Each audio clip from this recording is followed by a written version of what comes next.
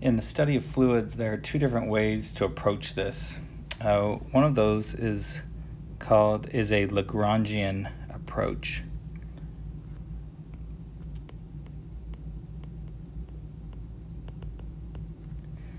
And in the Lagrangian approach, um, uh, what we do is we actually track a, a an identifiable uh, mass as it moves or deforms. Uh, so we actually track uh, mass or or uh, or particles as they move or or change. Uh, so, for example, um, in uh, in astrophysics or astrodynamics, we might uh, track a, a celestial body and its location as it changes uh, relative to gravitational pull uh, from from surrounding objects or its own uh, momentum and inertia. So uh, so some some applications here are astrodynamics. Um, also for uh, for structural mechanics, when you're looking at the deformation of a beam, for example, under load, it's easier to track the location of that mass as it deforms uh, uh, than it is this other method we're going to talk about here. So, so structural mechanics is another um, application where we use uh, that Lagrangian uh, approach. Um, and then finally, uh, fluid statics um, is another application. If the if the fluid isn't um, isn't moving but is undergoing some pressure or, or something, uh, some some some possible deformation because of pressure, but but there's not a lot of dynamics in that fluid system, then a Lagrangian method also works. So essentially, what we're doing is is with these uh, these mass particles, we're uh, solving the, the laws of physics. You know, we're looking at how that particle changes due to external forces on that uh, on that object itself. Uh, another way to look at uh, dynamics is through uh, is through an Eulerian appro- approach. And in Eulerian, what we do is we look at a specific location and observe the mass flow through that location.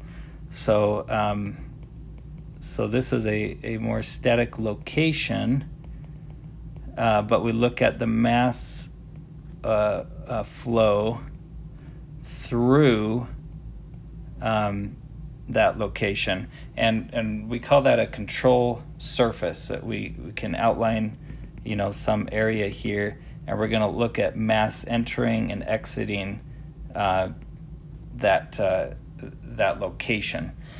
And the Eulerian approach uh, is really useful for fluid dynamics in general. Uh, part of that is because of the, um, let me spell this right, dynamics. Uh, part of that is because of the difficulty in tracking fluid particles. You know, if, if you're talking about some big fluid system. You've got fluid moving over a surface or whatnot. You know, there's there's a lot of particles to be tracking, and so the complexity of tracking those particles uh, is very challenging. Uh, but secondly, in fluid dynamics, a lot of the times what we are interested in is the effect of that fluid motion on the adjoining surface, and that's the case that we have with aerodynamics. So aerodynamics is um, is one application where we generally use the Eulerian approach. So let me give you an example.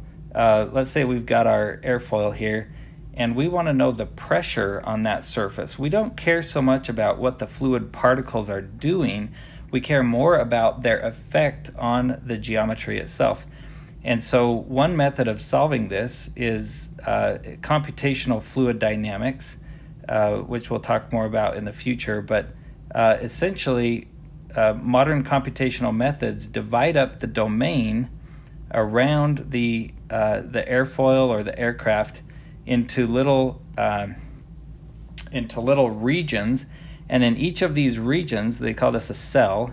in each of these cells, we satisfy certain equations, uh, certain certain laws of physics that have to be satisfied.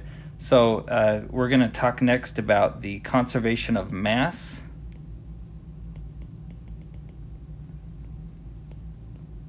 Uh, and conservation of momentum. Those are equations that have to be satisfied inside of each of these cells. So this is an Eulerian approach because we actually don't really care. You know, if we look at a, at a fluid particle as it goes over this, we really don't care as much about the where that fluid particle came from or where it's going or, or what it uh, what its velocity is or its trajectory is as much as we care about the pressure that uh, that results along the surface of this object. And so we we put our control surface to be attached to this the surface of the object that we're interested in uh, and we can estimate the pressure on the surface by knowing what's going on inside of a cell that's attached to the surface but what's going on in this cell depends on what's going on in a neighboring cell and so we end up building a rather large domain uh, you know these cells move out in all directions here around this geometry uh, because we have to know actually what's going on in a lot of neighboring cells in because those neighboring cells affect uh, the cells that are attached to the surface of this geometry. So this is an Eulerian approach and the approach that we'll be using throughout this course.